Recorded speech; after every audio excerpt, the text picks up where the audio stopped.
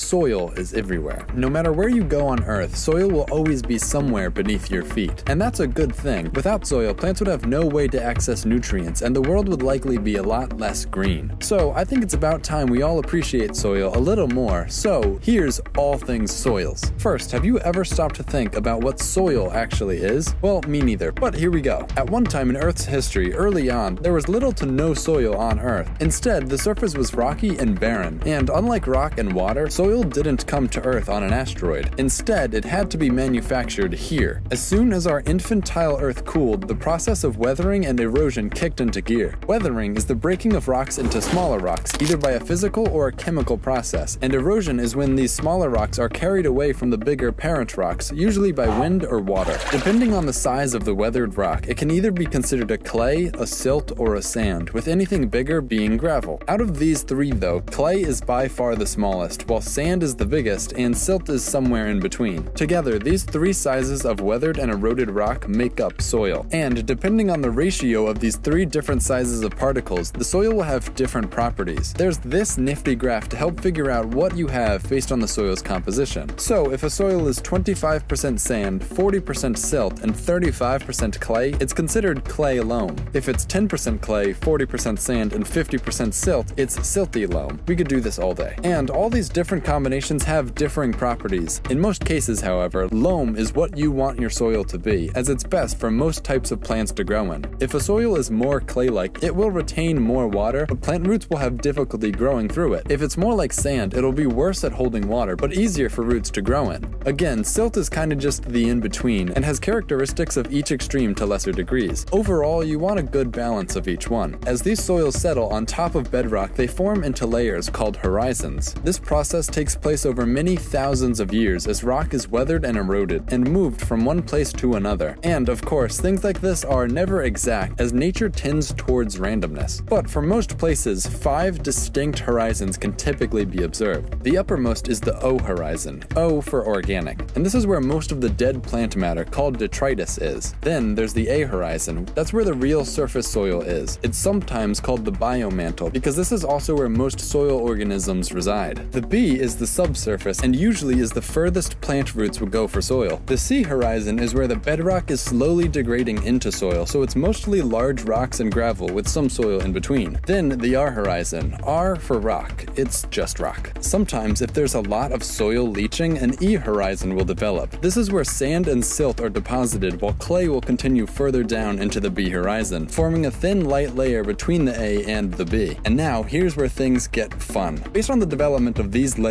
plus one or two other conditions, we can start to classify soils all over the world into soil orders. There are a bunch of these, so you better strap in. So in the beginning, when there's soil with absolutely no development of horizons, it's an entisol. These are very young and actually the most common type of soil on Earth. Give the soil a little more time, however, and it will become an inceptisol, which has slightly more development of its layers with the beginnings of a B horizon. Then, based on the climate, given more time, an inceptisol can become a variety of different soils. At high latitudes in the Arctic or even mountain ranges, you'll have gelisols. These soils will have permafrost close to the surface so the soil doesn't move around a lot, meaning its horizons remain undeveloped as well. These are found mostly within northern Russia and Canada. Moving slightly closer to the equator, we'll next find spodosols, which occur in coniferous and boreal forest biomes. These will be acidic due to pine needles falling to the ground and decomposing into acidic compounds. Because of this, they're low in fertility. These are primarily found in Scandinavia and the Canadian east coast. Then we have alfisols, which have fair horizon development. They're rich in iron and aluminum, and are typically under broadleaf and deciduous forests, and also some humid Mediterranean climates. These are mostly in the east coast of the United States and the Russian heartland. Below alfisols, you'll have ultisols, which have a lot more iron in them, making them very red. These occur in subtropical locations, very humid places like the American Southeast and Southeast Asia. On roughly the same plane are aridisols. While ultisols occur in very humid places, aridisols are desert soils with extremely low amounts of water. Just think arid aridisols. These are not sand deserts, however. This is what an aridisol looks like, and this is shifting sand. They're different. Because there's little to no water in these environments, most of the small clay particles have been blown away by the wind, leaving mostly heavier sand, silt, and gravel. These are found in the Sahara, Arabia, Australia, northern China, and the western United States. Also roughly in this area are mollisols. These are dark soils and, in terms of agriculture, the most fertile soil order. Order. These occur in grassland regions like the American Midwest, the Pampas region of South America, and the steppe region of Russia. Lastly, in terms of latitude, we have oxisols. These have low nutrient availability and aren't very fertile, but they do have the most horizon development of any soil order, although it's hard to see because there's so much iron in the soil, turning every layer this reddish-orange color. These are rainforest soils, think the Amazon and the Congo. Then we have a few more soils that don't really fit into the latitude scheme. These sort of just occur where they occur. In this vague category first, you'll have andisols, think like the volcanic Andes Mountains. This is recently volcanic soil ejected from a volcano. These are surprisingly rich in nutrients and given enough time create lush landscapes. Think about the volcanic islands of Hawaii and Japan. Then we have histosols. These are wetland soils. That means they're caked in water and usually feature peat. There's also going to be a lot of undegraded organic matter, which can form an impermeable layer if too much builds up. Due to the buildup of this organic matter, these will also be highly acidic. They're also unstable and dangerous to build structures on. Most of these can be found in Canada and river deltas. And lastly, we have vertisols. These also have a lot of clay in them, but they often dry out. When they do, the ground will crack and split and look like this. When this happens, soil on top will get blown into the crevices, inverting the soil layers and preventing real horizons from forming. The largest concentrations of them are found in India and Sudan. There are, of course, more ways to describe soil, and in fact, for every order, there's a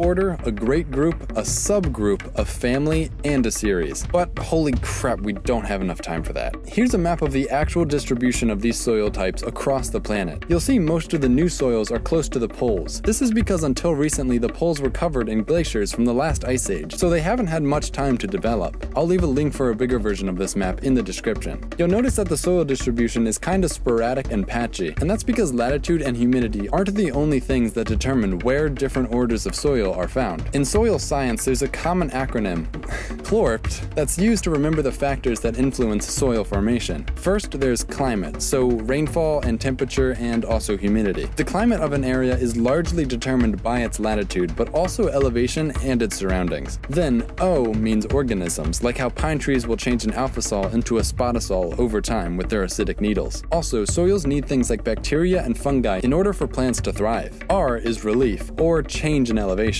Mountains will channel water into valleys, so you may find a histosol at a low elevation, but an alfisol or even an aridisol further uphill. P is for parent material. So, if a soil's parent material is volcanic rock, you'll get an andisol. If a soil's parent material is limestone, it likely dissolved away and is therefore probably a clay and will also be rich in calcium. And lastly, T is time. Given enough time, the entisols and inceptisols will become more developed soil orders. I think that's it. I hope you enjoyed. This video came right out of a college notebook of mine, so these are all based on the USDA soil taxonomy, and other places might have different ways of categorizing soils. There's actually a ton more to learn about soils also, so if you want to see a video called Even More Things About Soils, give this video a like and subscribe. That's it for now, thanks.